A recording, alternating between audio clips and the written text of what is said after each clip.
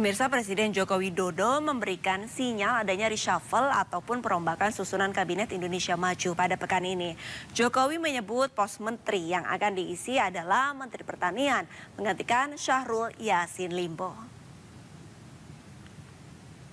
Jokowi menambahkan pihaknya masih mempersiapkan perombakan kabinet sehingga belum bisa memastikan kapan tepatnya perombakan akan terlaksana.